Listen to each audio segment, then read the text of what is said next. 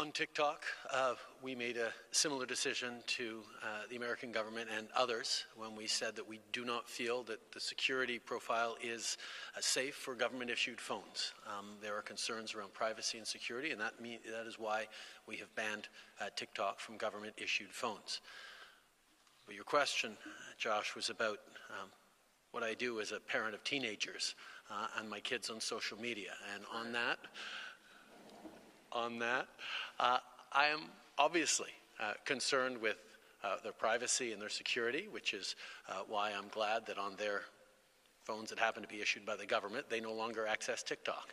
Uh, that was a big frustration for them. Really? This applies to us too, Dad? Yes, I just did that. Um, but I think as parents, we are understanding, particularly of teenagers, just how much of our kids' lives are lived online and how much they are impacted uh, not just by influence the way their friends are and peer pressure that all of us went through as teenagers, but a degree of misinformation, disinformation, and malicious activity uh, that is allowed for by incredible advances in technology that we are benefiting from in so many different ways.